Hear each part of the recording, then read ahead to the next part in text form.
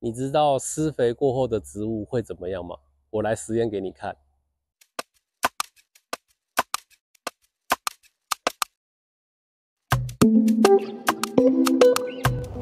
大家好，我今天要跟大家分享。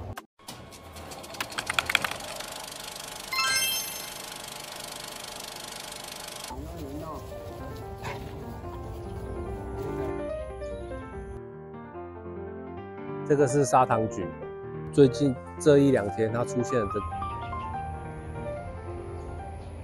然后我种植了三四年，用自然农法的方式，从来没有施过肥，所以我想说，它在结果的时候啊，也给它施展一下，看会会不会变好吃，它会不会也会跑来害虫？结果真的跑来害虫。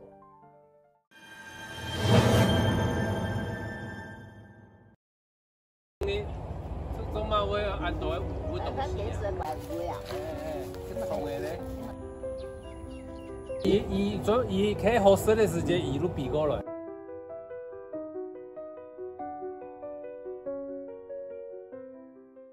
这个是叶竹远春象，它是透过它的那个吸管插入果实里面去吸取它自己使果实不会长大，然后它会逐渐黄化掉下来。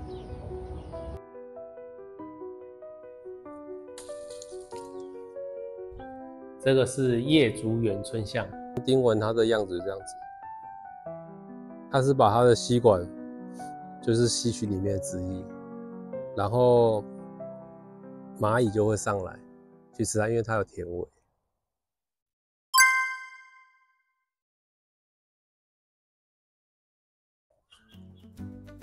为什么它吃了这吃了肥之后，它会突然跑出这些东西？是因为。它在结果，所以它的植株体它本身是在弱化的，所以你可以去看一下我上一部果树为什么会结果的内容，然后你施展营养下去之后，它变好吃了，所以害虫就出现了。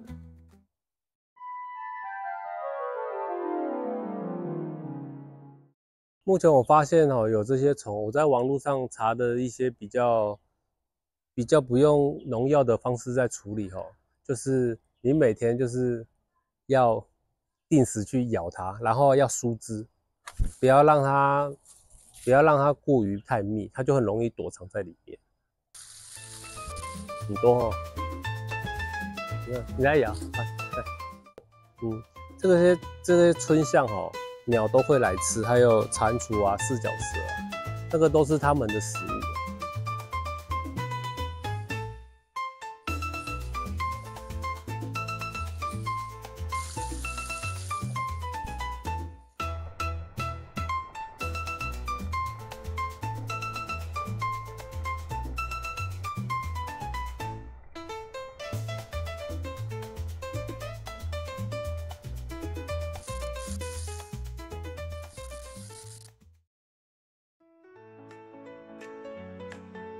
我看，现在啊，几乎都没有那个，几乎都没有害虫了，因为这几周有下雨，然后我每天都去干扰它，所以那个当下雨完之后，它的那个肥料的浓度降低之后，它的东西可能没有那么好吃，所以害虫就离开了。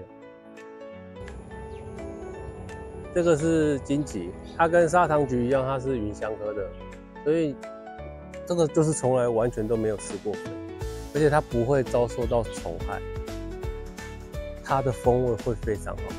那为什么我说可以不用施肥？因为这颗豆科它可以提供氮素，那玫瑰或这个桂花，它也会提供不同的元素在土壤里面。所以在一个地方有很多不同的根系，它会有不同的菌群，所以它们就会互相帮忙。那你唯一要去做辅助的，就是让他们的光照都能均匀的照到。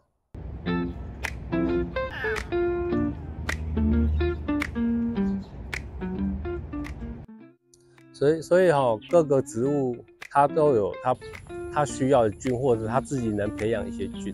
所以，不同的菌在土壤里面生长，就会就会提供很多不同的元素，所以这些植物才能长得。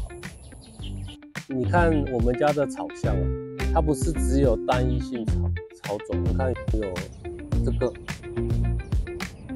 有这个，有这个，早就有三四种草种。我觉得我们人也是一样，都是其实都需要有不同的个性的人，这个社会才能发展。如果太过单一，很多东西都发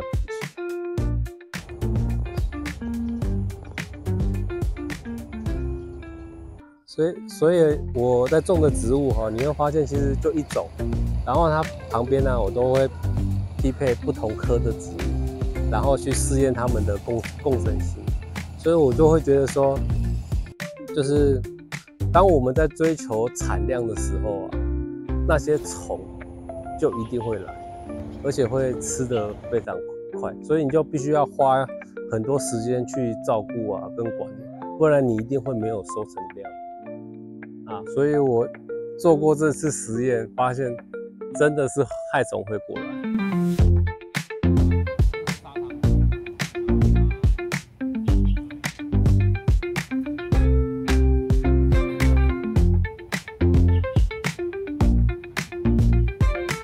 这个都是上上帝上帝设计。